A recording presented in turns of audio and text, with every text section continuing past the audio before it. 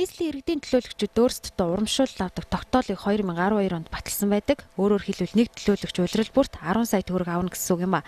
Нийслэлийн иргэдийн төлөөлөгчдийн хуралд нийт 45 төлөөлөгч улирал бүр 10 сая төгрөг авна гэхээр жилд 40 сая, сонгуульд 4 жилийн хугацаанд 160 сая төгрөг урамшуул хэлбэрээр авдаг байгаа юм. Үүнийг 45 төлөөлөгчид үржүүлвэл 7.2 тэрбум төгрөг гарч байна. Их хурлын төлөөлөгчд нь ингэж урамшуул авдаг бол дүүргүүдийн төлөөлөгчд ч мөн урамшуул авдаг болох тогтоолыг 2013 онд баталсан байдаг байна. Тогтоол 2014 оны 1 сараас хэрэгжиж эхэлсэн. За тойрогтой зарцуулна гэж өөрсдөө баталсан энэ хөрөнгө Баян зүрэг дүүргийн тухайд хил ам таталж эхэлжээ. Тодруулбал тус дүүргийн 31 төлөөлөгч улирал тутамд 4 4.5 сая төгрөг авах байсан ч засаг дарга бүрүү даваа нь намын хандив болгож авчгаад өгөхгүй байхаа гэх мэдээллийг бидэнд өглөө. Төлөөлөгчдийн урамшууллын мөнгө гэдэг бол Монгол улсын төсөвт төсөө төсөвт суугаад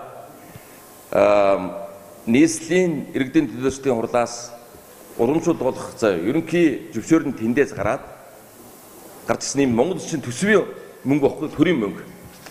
Тэгэхээр төрийн мөнгийг бол арга зайлтай Хүмүүс бол өөрийн эрх мэдлээ ашиглаад намд хандивлсан намд зориулах нэрээр заяа өөрсдөө авч хэрэглэгд юу зарцуулж чадаад байгаа энэ хуулийн байгууллагууд хяналт тавьж чадахгүй л Засаг дарга бүрүү даваа 31 төлөөлөгчийн 2 улирлын мөнгө болох 279 сая төгрөгийг эрх мэдлээ ашиглаж намын даасанд шилжүүлсэн гэх мэдээллийг төлөөлөгчд нь хэлж байна.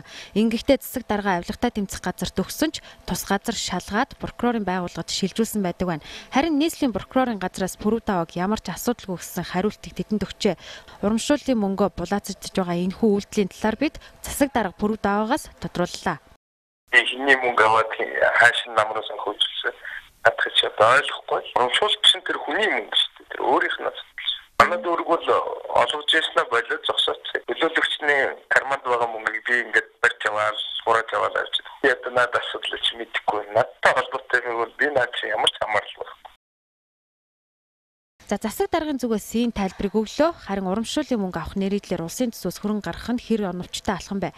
Өнөөдөр эдийн засаг хүнд өрх бүр орлогын хямрал төрчгöd байхад дарга төлөөлөгч нар өөр хоорондоо урамшууллын мөнгө булаацалдаж суугаа нь хачирхалтай юм а. Хэрв төсвийн мөнгө болох 279 сая төгрөгийг Баян зүрх дүүргийн засаг дарга хувьдаа завшсан бол хяналтын байгууллагууд үнэн мөнийг нь тогтоох хэрэгтэй байхаа.